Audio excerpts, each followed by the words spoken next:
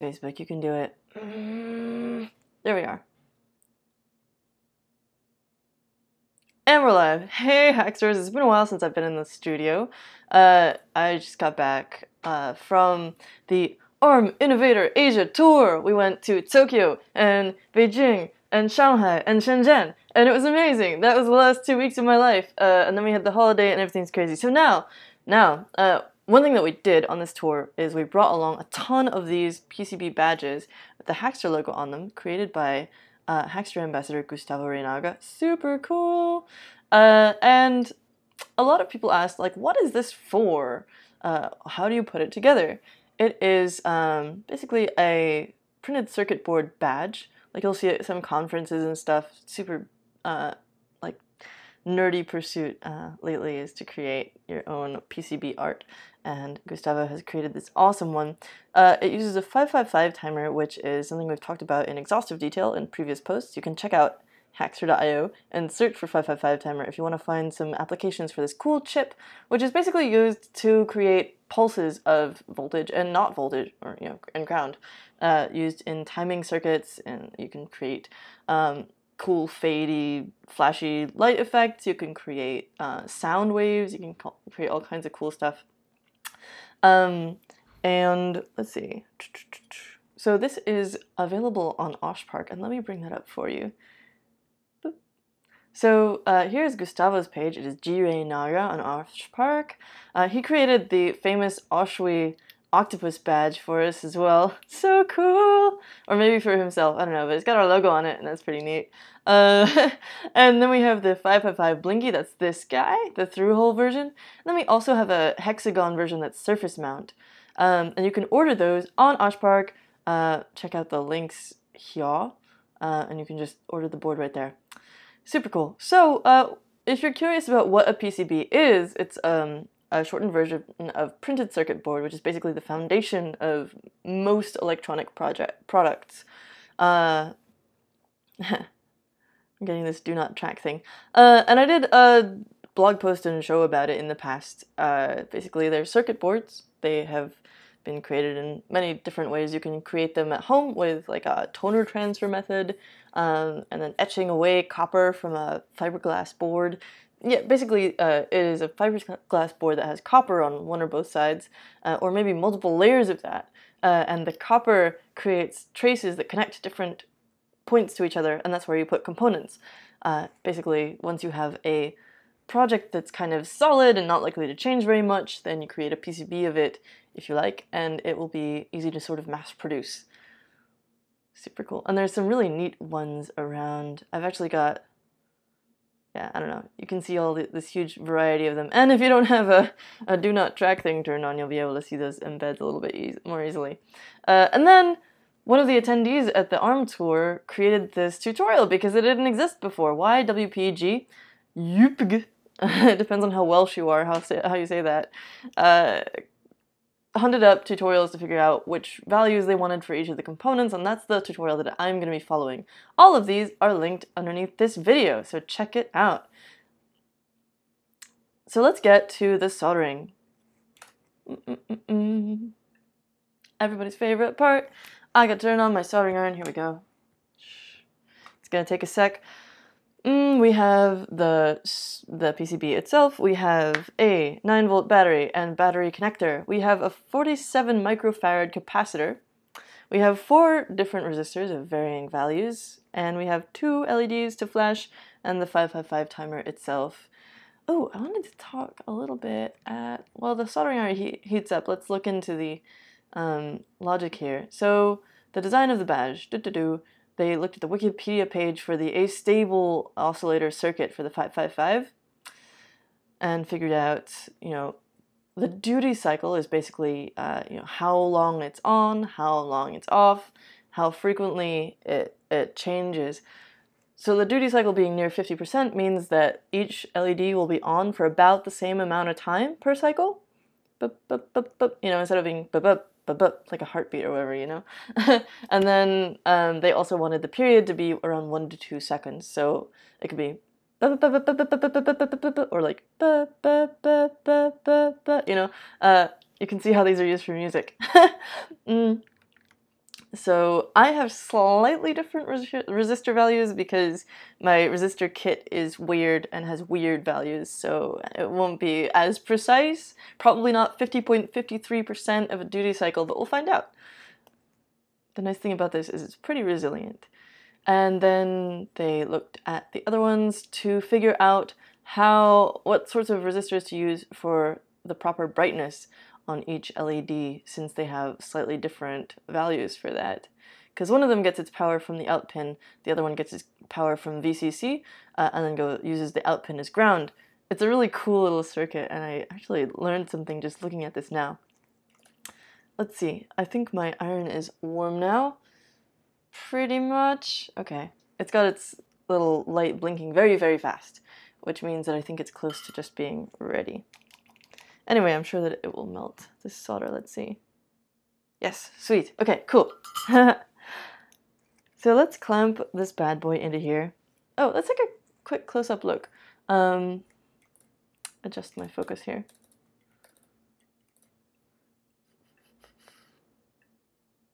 Yes. Oh boy. There we go. Oh, that's so nice. So we have the uh, square holes indicating ground or pin 1 here. Uh, as you can see, this person created the tutorial by following where these vias go, or traces go, and you can kind of see them when I hold it to the light like this. And you can see where the power and ground um, legs of the LEDs go. The resistors don't have polarity, they can go on either way. Pin 1 of the 555 is over here. You've got a jumper here, that's for connecting the 9 volt battery. Uh, or, you know, you could use a JST connector and hook up some other power source. But in this case, uh, we've got a 9 volt battery and the dot is indicating where ground goes. Cool. Let's bring this back to a reasonable distance. I'm using the gross masking tape side of my third hand. I should switch that around, but I will.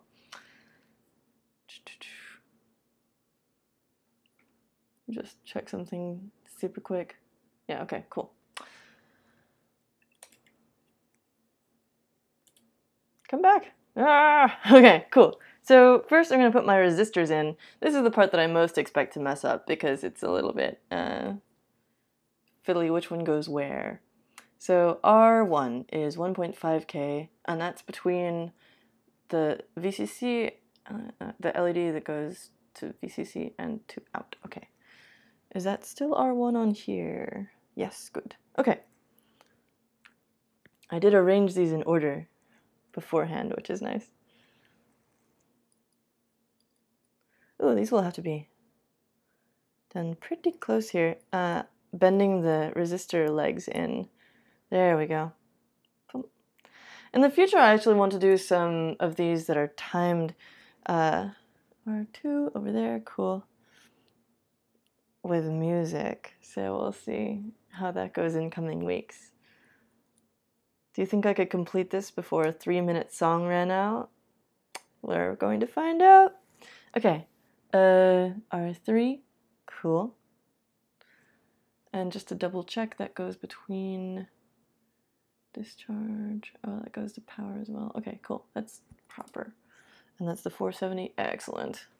I do a lot of like double and triple checking in this stuff because, you know, once you solder this stuff on and clip the leads off, it's kind of a pain. I should probably test it, in fact, before I do clip the leads. So maybe I'll do that.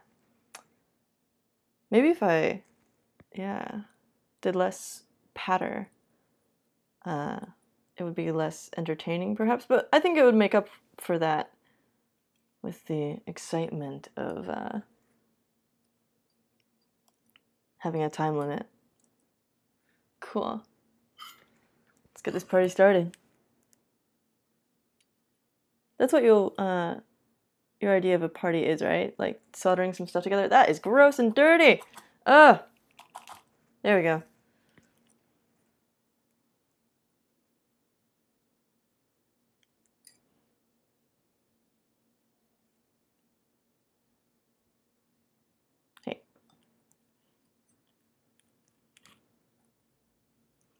When I'm teaching people to solder, um, often what will happen is that they'll hold the solder wire really close in to the joint. And that a makes me kind of nervous because like your fingers are there uh, and b doesn't give them a lot of flexibility. I think what they want is control but really it doesn't give you any extra control to hold the solder so close up to the piece that you're working on it just sort of makes it more likely that you're going to burn yourself there we go okay and as I said, I'm going to leave these leads on for now, which really makes me kind of twitchy. I hate it. But I do want to make sure that everything's in its proper place before I clip them off. Okay, time for some LEDs. Oh, let's do the chip next, I think. Okay, so we've got the little notch on the chip here indicating pin 1, and I'm going to flatten this out on my work surface so that the legs aren't sticking out to the sides.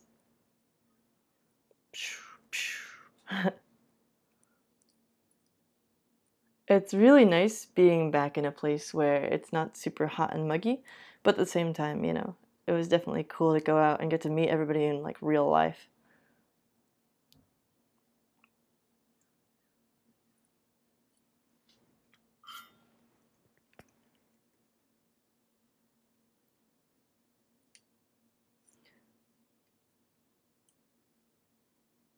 I met a bunch of cool people actually um, that I've met on the internet before or talked to as sort of leaders of uh, companies, but have never actually met in real life. So Carmelo from uh, of the Autobot, and Christina from Kittenbot, and a couple awesome people from. Uh, uh, here we go. More Morpx, the robot company.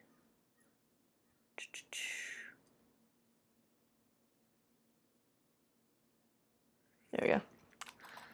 And a ton more, as well as like a bunch of people who are on the platform as users and like people who create and submit tutorials and stuff. It's super cool and exciting.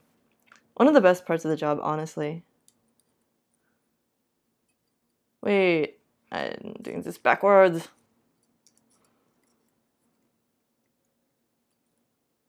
This side of the, the third hand is really unruly. okay, let's see.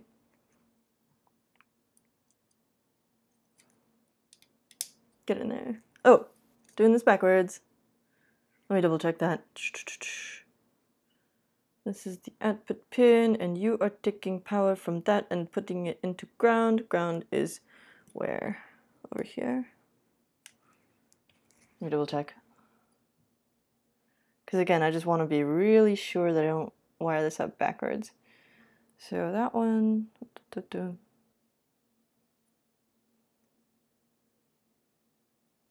Hmm. Oh, and that just hooks up to the ground plane. Perfect.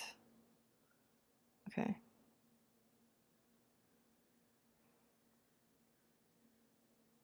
Hmm. Wait, I might have this backwards.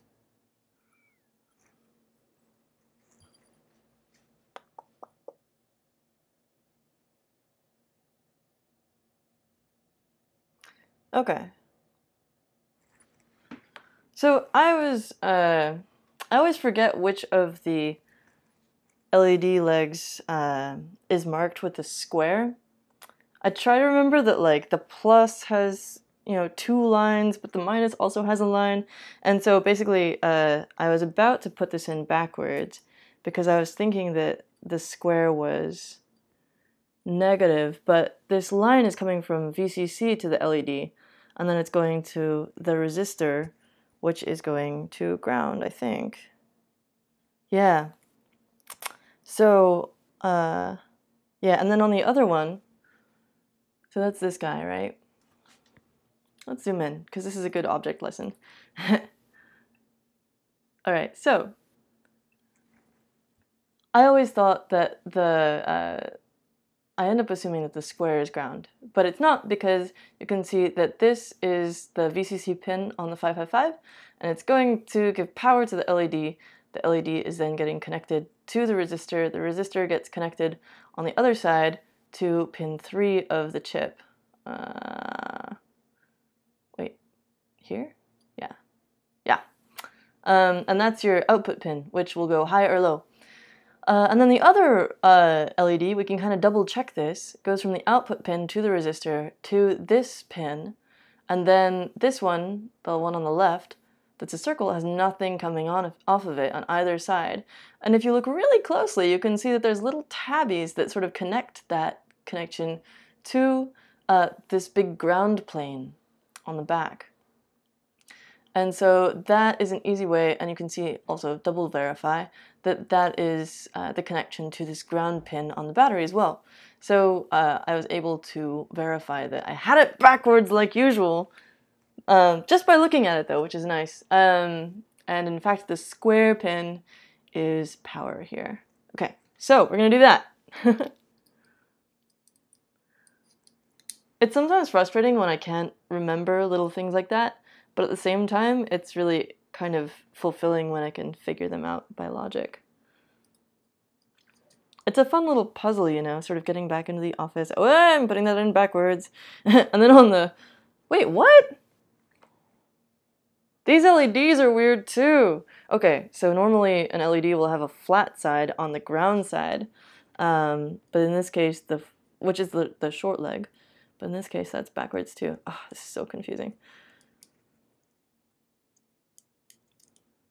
Lots of weirdness going on in this project. Here we go. Okay.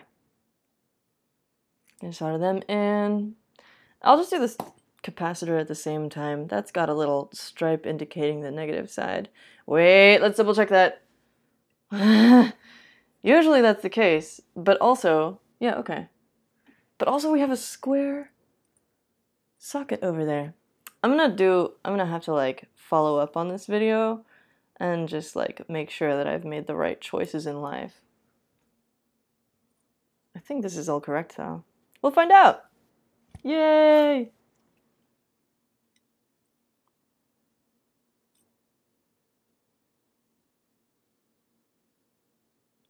I've got so many robots from this trip to show y'all.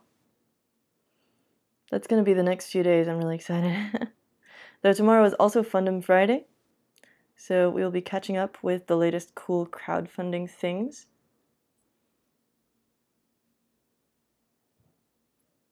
Cool.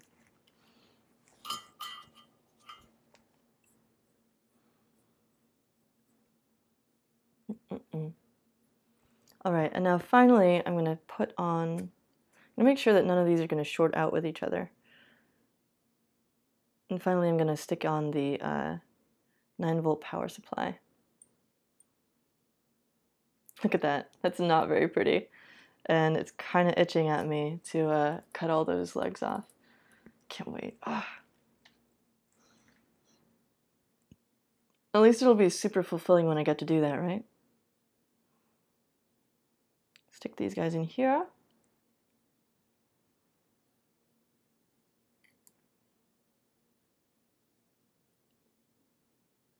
Flip that around.